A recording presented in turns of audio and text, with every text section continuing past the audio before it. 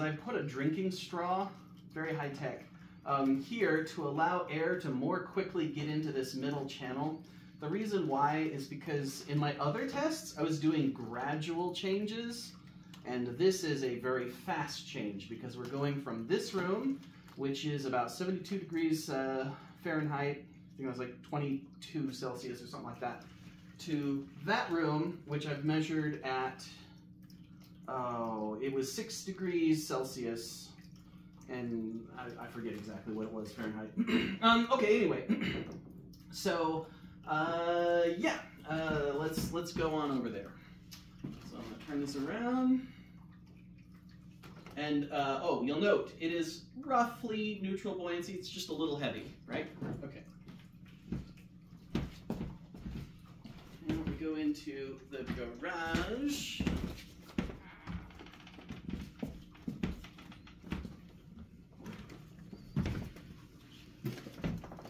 Okay.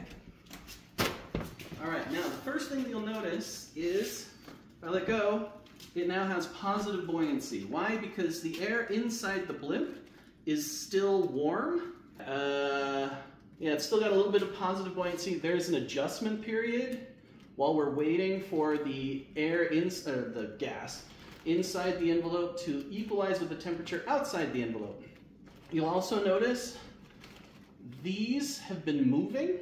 So this line has been moving this way. I don't know if you're gonna be able to see it in the video, but basically what's happening is as this chamber, mm, as it uh, as it squeezes down, uh, the, the, the entire envelope is getting a little shorter. Uh, okay, and basically what we're looking for, we'll know that the temperature has equalized when it has negative buoyancy again, which seems to be about now. Okay, so that's how long it took for the gas to equalize. So what this tells you is, if you have one of these blimps and you are taking it outside, you're going through a rapid temperature change, it's going to pull up, or conversely, when you go back inside, it's going to pull down. And you need to be prepared for that so that it doesn't fly away. But yeah, okay, so yeah, you can see here there's there's a lot more wrinkles here. There, that's because when I was filming the video and when I was doing my tests, I was constantly getting in here, so I was messing that this cover up a lot. Um, and then if I flip this over,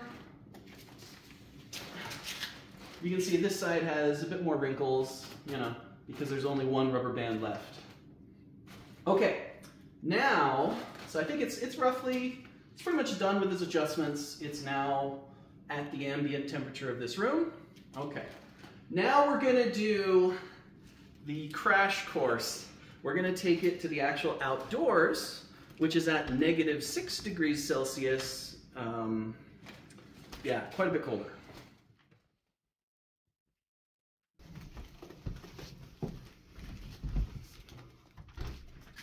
So here is the great outdoors. Very cold. And again, if you can shut that door. Yeah. And now it's pulling up pretty strongly, right? Now, this is a much higher temperature difference than I claimed this envelope could handle, right? Uh, but we're going to do it anyway, just so that I can show you that when it fails, it soft fails.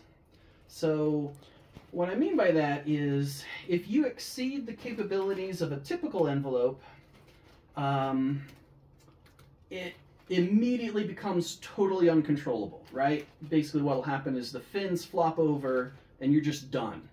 Um, whereas this, it'll sag a little bit. It's getting, you know, pretty weak in here, right? Not a lot of pressure anymore, but you could probably bring this in for a landing, right? And then you can see here, this is now, you know, this is just not very taut at all. But like I say, you could probably bring this in for a landing, no problem, right? um,